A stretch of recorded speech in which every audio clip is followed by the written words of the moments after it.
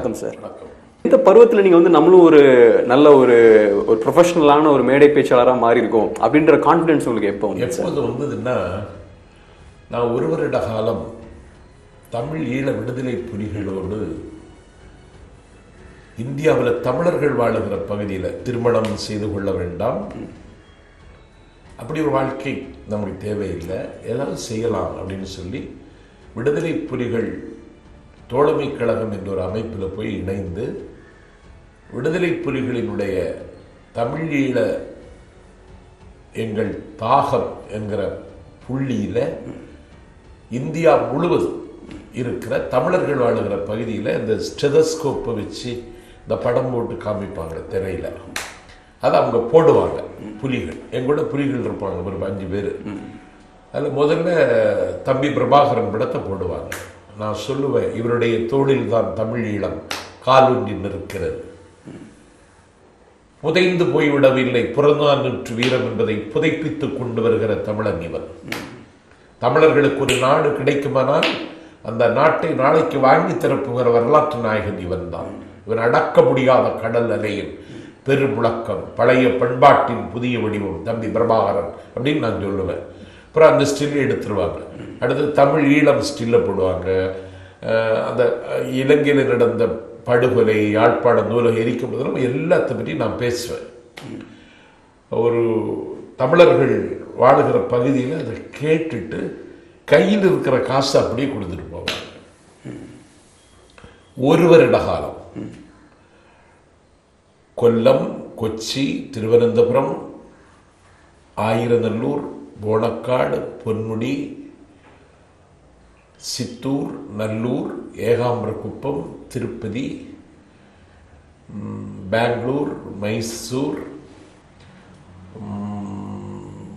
மும்பை தாராவி மாதுங்கா டெல்லி வரைக்கும் இந்தியா முழுவதும் தமிழர்கள் எங்கெல்லாம் இருக்காங்களோ அங்கெல்லாம் போய் பேசினேன் அதில் ஒரு நாற்பது லட்சம் ரூபாய் அந்த காலத்திலேயே நிதி திரட்டி தம்பிகளுக்கு நான் கொடுத்தேன். எனக்கு அவர்கள் தீனதயாளன் என்று பெயர் வைத்திருந்தார்கள். வீட்டிலிருந்து நான் வெளியேறிட்டேன். அதற்கு பிறகு டாக்டர் கலைஞர் அவர்கள் தன்னுடைய பிறந்த நாளின் போது தனக்கு குவிந்த நிதியை போராடுகிற இயக்கங்களுக்கு சமமாக பகிர்ந்து கொடுத்தார். விடுதலை புலிகள் இயக்கத்துக்கு ஐம்பதனாயிரம் இபிஆர்எல்எஃப் அதுக்கு ஐம்பதனாயிரம் ஈரோஸ் அதுக்கு ஐம்பதனாயிரம் பிளாட் இப்படி ஐந்து இயக்கங்களுக்கு பகிர்ந்து கொடுத்த பொழுது பெங்களூரில் புலிகளோடு நான் உட்கார்ந்து பேசி கொண்டிருக்கிற பொழுது கலைஞரை கடுமையாக விமர்சித்தார்கள். களத்தில் நின்று உயிர் கொடுக்கிற நமக்கு ஐம்பதனாயிரம் ரூபாய் காட்டி கொடுக்கிறவனுக்கு ஐம்பதனாயிரம் ரூபாயான்னு பொங்கி எழுந்தார்கள். கலைஞரை மிக மோசமாக பேசி பொழுது நான் பேசாதீங்க. அவர் இல்லைன்னா நம்ம தமிழ்நாட்டில் நடமாட முடியாது. எம்ஜிஆர் முதலமைச்சர் ஈழத்தமிழர்கள் பரிவுள்ளவர் தான். ஆனால் அவர் இந்திராவுக்கு பயப்படுவார்.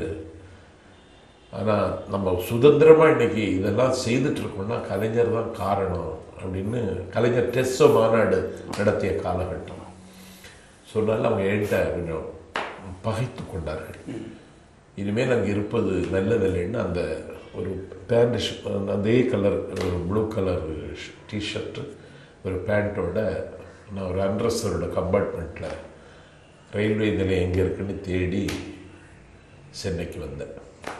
சென்னைக்கு வந்த அன்னைக்கு சவர்பேட்டையில் சேலம் அருள்மொழியும் பரிதி இளமனதியும் பேசுகிற பொதுக்கூட்டம். கையில் பத்து காசு கிடையாது. அந்த பொதுக்கூட்டத்துக்கு பரிதிகளை எழுதி என்னை அழைத்து சென்றார். நீ வரிய அப்படின்னு கேட்டு கூட்டிகிட்டு போனார். நாங்கள் போய் அவர்களுக்கு முன்னால் நான் பேசினேன். அரை மணி நேரம் நான் பேசினேன். பேசி முடித்ததற்கு பிறகு. அன்று முழுவதும் சாப்பிடலை. அதுக்கு தலைநாள் சாப்பிடலை. மட்டன் பிரியாணியும் வஞ்சிர மீன் பொரிச்சதும் வாங்கி தந்தாங்க. ஐம்பது ரூபாய் தந்தாங்க ஆயிரத்தி தொள்ளாயிரத்தி எண்பத்தாறு ஏப்ரல் ஆறு. அது எனக்கு பெரிய தொகையாக இருந்தது. சரி இதுவே இங்கே வாழ்க்கைன்னு தீர்மானிச்சிடலான்னு மனசுக்குள்ளே நினைக்கிறேன். அப்பொழுது மயிலாப்பூரில் துரைமுருகன் கூட்டம் இருக்குது நீங்கள் வந்து பேசணும்னு காலம் சென்ற காசி சாமின்னு ஒரு வயதான திமுக பகுதி செயலாளர் தேதி வேணும்னு கேட்டார். செத்துப்போகிற சைதாப்பேட்டை எம்எல்ஏ ஸ்ரீதர் கோட்டூர்புரத்துக்கு ஒரு தேதி வேணும்னு கேட்டார். செத்துப்போன திமுக எம்எல்ஏ கிட்டு சைதாப்பேட்டை ஒரு தேதி ஒன்று கேட்டார். சேப்பாக்கம் செத்து போனார்னு நினைக்கிறார் அவர். ஜெகதீசன். சிந்தாதிரிப்பேட்டைக்கு ஒரு தேதி ரஹ்மான் கான் தேதி வாங்கியிருக்கார் கூட பேசணும்னு சொன்னார். ஒரு பத்தே நாளில் சென்னையில் நான் பிரபலமாயிட்டேன் இவங்க ஐம்பது ரூபா தந்தாங்க அடுத்த நாளேந்து நூறுரூவா கிடச்சி. அப்புறம் ஒரு சூட்கேஸ் வாங்கினேன் அப்புறம் ஒரு வேட்டி வாங்கினேன் ஒரு சட்டை வாங்கினேன். இந்த ச ரோட்டில் போட்டு விற்பாங்களே வெள்ளை சட்டை. அதை ஒரு முப்பது ரூபா நாற்பது ரூபா கொடுத்து அந்த சட்டையை வாங்கிக்கிட்டேன். காந்தி கிராஃப்டில் போய் நாலு முளை வேட்டி வாங்கிக்கிட்டேன் ஒரு சூட்கேஸை வாங்கிக்கிட்டேன் பயணத்துக்கு தயாராகிட்டேன். அப்போது இந்திய தரப்பு மாநாடு கோவில் நடக்க போகுதுன்னு சொன்னால கலைஞருக்கு ஒரு கடிதம் எழுதினேன். இந்த மாநாட்டில் பேச எனக்கு வாய்ப்பு வேணும்னு கேட்டு கலைஞர் நாஞ்சிலார்கிட்ட என் கடிதத்தை காமிச்சிட்டு உடனே எனக்கு வாய்ப்பு தந்தாங்க. வருவாய்க்கான வழியும் பிறந்தது. எனக்கு நான் ஏ- எனக்கு விரும்பிய வாழ்க்கையும் எனக்கு வசமானதுன்னு ரொம்ப மகிழ்ச்சியில் அந்த மாநாட்டில் பேசின அந்த நாளிலிருந்து இந்த நாள் வரைக்கும் நான் பிஸியாக இருக்கேன் அப்போ உங்களோட வயசு என்ன சார் அந்த டைமில்? அப்போ எனக்கு இருபத்தி நாலு. இருபத்தஞ்சு. முத முதல்ல அவங்கள வந்து அரசியல் களத்துல இருந்து உங்களோட திறமையை வந்து பார்த்து உங்களை ஐடென்டிஃபை பண்ணதுன்றது தலைவர் வைகோ அப்படின்ற மாதிரி நீங்க சொன்னீங்க. அதுக்கப்புறம் திமுகவில் இணைஞ்ச கதையை கொஞ்சம் சொல்லுங்களேன் சார். திமுகவில் எங்கள் குடும்பமே திமுக. எங்கள் அண்ணன் பேர் கருணாநிதி என் பேர் சம்பத்து என் தம்பி பேர் ஸ்டாலின். எங்கள் ஊரில் முதல் முதலாக திமுகவை அறிமுகம் செய்தது எங்கள் அப்பா தான். அவர் தான் முதல் சுயமரியாதைக்காரர். அதனால் கல்லூரி மாணவராக இருக்கும் பொழுதே மாணவர் திமுகவில் வைகோவோட தொடர்பு கொண்டு மாணவர் திமுகவுக்கு ஆள் சேர்த்தேன். அது அதற்கு அதற்கு பிறகு அங்கே மா அந்த மாவட்டங்களில் நடக்கிற ஆற்றூர் அந்த ஊருக்கு பேர். போலீஸ் கண்ணன் ஒரு திமுக பேச்சாளர் பேசுவதற்கு தேதி கொடுத்துட்டு வரல. அப்போ இதை எப்படி ஃபில்லப் பண்ணுறது யார் வருவா இன்னி? ஐயோ ஏமாற்றி போட்டானேன்னு அவங்க பதட்டத்தில் இருக்கும் பொழுது மணக்காவளையில் ஒரு தம்பி இருக்கான். நல்லா பேசுகிறான் அழைச்சிட்டு வருவோமான்னு சொல்லி ஜஸ்டிஸ் எங்கள் ஊரில் அவரும் இந்த திராவிட இயக்க கொள்கையில் தீராத காதல் கொண்டவன். அந்த அண்ணன் என்னை கூட்டிகிட்டு போய் இந்த கூட்டத்தில் பேச வச்சான். மொதல் கூட்டம். குமரி மாவட்டம் ஆத்தூரில் போலீஸ் கண்ணன் என்கிற திமுக பேச்சாளர் வராததற்கு கோடிட்ட இடங்களை இட்டு நிரப்ப அழைக்கப்பட்டு நான் பேசினேன். அன்னைக்கு இலங்கை தமிழர் பிரச்சனை பற்றி ரொம்ப உணர்ச்சிகரமாக பேசினேன். அன்னையிலிருந்து குமரி மாவட்டத்தில் எல்லா ஊர்லேயும் நான் பிரபலமாயிட்டேன் அப்புறம் சென்னைக்கு வந்த பிறகு நாடு முழுக்க ஒரு அங்கீகாரம் கலைஞரால் எனக்கு கிடைச்சிச்சு. கலைஞர் கருணாநிதி அவர்களை சந்திச்ச முதல் அனுபவத்தை கொஞ்சம் சொல்லுங்களேன் சார். கலைஞரை மாநாட்டு மேடையில் நான் உரையாற்றி பாரதிதாசன் படத்தை திறந்து வச்சு பேசினேன். அப்படிதே நான் ஒரு முடிவெடுத்தேன். நம்முடைய நமக்கு ஒரு வாழ்வு இது மூலமாக தான் வரப்போகுது. இது வரைக்கும் யாரும் பேசாத பேச்சை பேசணும்னு எப்போதுமே திமுக மாநாட்டில் பாரதிதாசன் படம் திறந்து வைப்பாங்க.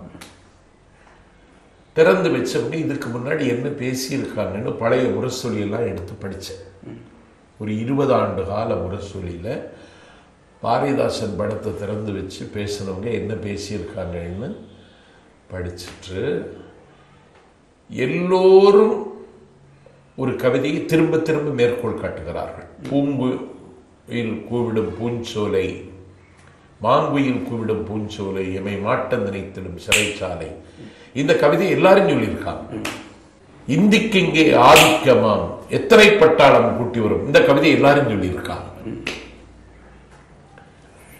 அப்ப திரும்ப திரும்ப எல்லா சொற்பொழிவாளர்களும் சொன்ன கவிதைகளை எல்லாம் நாம் புறந்தள்ளி விட்டு அந்த மாநாட்டில் விண்ணிடை ரதம் உருந்து மேதினி கலக்குதற்கும் பன்னிடை தமிழை குலைத்து பாரினை மயக்குதற்கும் மண்ணிடை வாழை ஏந்தி பகைப்புலம் மாய்ப்பதற்கும் எண்ணில்லா தமிழர் உள்ளார். என்னும் பாரதிதாசன் பாட்டுக்கு இலக்கணமாக கண்ணு கட்டி தூரவரையில் திரண்டிருக்கிற காளைகளே அப்படின்னு விழித்து பேசும் பொழுதே பாரதிதாசனை கோட் பண்ணி பேச ஆரம்பித்ததுலேருந்து கலைஞர் இப்படி கையை வைத்தவர் எடுக்கவே இல்லை. அந்த மாநாட்டில் கலைஞர் கீழே இறங்கும் பொழுது என் தோளில் கையை போட்டுட்டு உனக்கு தாயா முதல் பரிசு அப்படின்னு சொன்னார். அது வரைக்கும் என்னை அலட்சியமாக பார்த்த கண்ணப்பன் அவர்தான் அந்த மாநாட்டினுடைய வரவேற்பு குழு தலைவர். நாளைக்கு அலங்கார் ஹோட்டலுக்கு வந்துடு அப்படின்னு சொல்லி அலங்கார் ஹோட்டலில் கலைஞரை சந்திக்க வச்சார். ரொம்ப பிரமாதமான பேச்சு ரொம்ப அற்புதம். நீ இதையே நம்பி இருக்கலாம் அப்படின்னு சொல்லி அன்னையிலிருந்து அன்னைக்கு பதினஞ்சு நாள் தேதி வேணும்னு கண்ணப்பன் கேட்டார். பதினைந்து நாட்கள் தொடர்ந்து கோவை மாவட்டத்தில் கூட்டம் கொடுத்து கலைஞர் என்ன பாராட்டினார்? அந்த பேச்சு அவர் மனசில் வச்சுட்டு ஆயிரத்தி தொள்ளாயிரத்தி எண்பத்தொன்பது ஆகஸ்ட் பதினேழு அவர் முதலமைச்சராகி சுதந்திர தின கொடியேற்றி விட்டுவிட்டு நாகர்கோவிலுக்கு வந்து என் திருமணத்தை நடத்தி வச்சு சம்பத்தினுடைய இந்திய திருப்பு மாநாட்டு மேடையில் அவன் பேசிய பேச்சு என் காதுகளில் இன்னும் ரீங்காரம் செய்து கொண்டிருக்கிறது. இப்படி பேசுகிறவர்கள் அரிதாகி கொண்டு வருகிற காலத்தில் சம்பத் அந்த இடத்தை இட்டு நிரப்புறேன்னு சொன்னார் அப்படி பாராட்டினாரு. ஆயிரத்தி தொள்ளாயிரத்தி எண்பத்தொன்பது பொது தேர்தலில் அருப்புக்கோட்டை தொகுதியில் காரியாப்பட்டியில் கலைஞர் பேச வர்றார். கலைஞர் எங்கிருந்து ஆரம்பிக்கிறாருன்னா திருநெல்வேலியிலேருந்து ஆரம்பிக்கிறார். திருநெல்வேலி கோவில்பட்டி சாத்தூர் ஸ்ரீவில்லிபுத்தூர் ராஜபாளையம் விருதுநகர் அப்படி வந்துட்டு இங்கே வர்றார் காரியாப்பட்டி. அந்த கலைஞர் நான் ஒரு வாடகைக்கு கார் எடுத்து நாலு நாலு நண்பர்களும் கலைஞர் வரும் முன்னாடி ஒவ்வொரு மேடையிலும் பெரிய கூட்டம் போய் கொஞ்சம் கொஞ்சம் பேசிட்டு போயிட்டே இருக்கலாம் அப்படின்னு சொல்லி எல்லா கூட்டத்துலேயும் நான் பேசிட்டேன். என்ன போகிறோன்னா சம்பத்து கொஞ்சம் பேசுங்க அப்படின்னா அப்படின்னு கடைசியில் பத்து மணிக்கு காரியாப்பட்டி காரியாப்பட்டிக்கு போய் சேர்றேன் கலைமாமணி முத்துக்கூத்தன் இறந்துட்டாங்க. ஆணைகளிட்டே யார் தடுத்தாலும் மறைகிடல் ஓய்வதில்லை. ஆயிரம் கைகள் மறைத்து நின்றாலும் ஆதவன் மறைவதில்லைன்னு எம்ஜிஆருக்காக பாட்டு எழுதினவர். அவரு பாவை கூத்தும்பாங்க. பொம்மலாட்டம். பிரச்சாரம் பொம்மலாட்ட நிகழ்ச்சி நடத்திட்டு இருக்காரு பத்து மணிக்கு முடிச்சார். முடிச்ச உடனே தங்கபாண்டியன். தங்கம் தென்னரசு தமிழச்சி தங்கபாண்டியனுக்கு அப்பா. சம்பத்து வந்துட்ட பிரச்சனை இல்லை. நான் கையில் மைக்கு கொடுங்க. எப்போ வராருன்னு தெரியாது தலைவர் விழாவாரியாக பேசியிருந்தாங்க இரவு பத்து மணிக்கு என் கையில் மைக்கு தந்தாங்க. அடுத்த நாள் காலையில் ஏழரை மணிக்கு முடித்தேன் தொடர்ந்து ஒன்பதரை மணி நேரம். கலைஞர் ஒன்பது ஏழரை மணிக்கு தான் மேடைக்கு வந்தார். வந்து எவ்வளோ நேரம் பேசுனேன்னு கேட்டுட்டு சைக்கிள் மிதிக்கலாம் சர்க்கஸில் வித்தை கட்டலாம் மாயாஜாலம் செய்யலாம். புராண இதிகாசங்கள் கூட பேசிடலாம். ஆனால் ஒரு தேர்தல் பிரச்சார மேடையில் ஒன்பதரை மணி நேரம் பேசுறதுங்கிறது ரொம்ப அபூர்வம். அந்த ஆற்றல் யாருக்கும் இல்லை. இளைய வயதில் சம்பத்துக்கு வாய்த்திருக்கிறது. சம்பத்து வாழ்க. இனி பேசுவதற்கு ஒன்றுமில்லை செயல்படுங்கள்னு அவர் மூணே மினிட்ல முடிச்சுட்டு போயிட்டார். எந்த சாதி பின்புலமோ பணபலமோ இல்லாத நாந்தில் சம்பத் என்கிற என்னுடைய திருமணத்திற்கு அவர் வந்ததற்கு அதுதான் காரணம். முதலமைச்சராக இருந்து வந்தார்.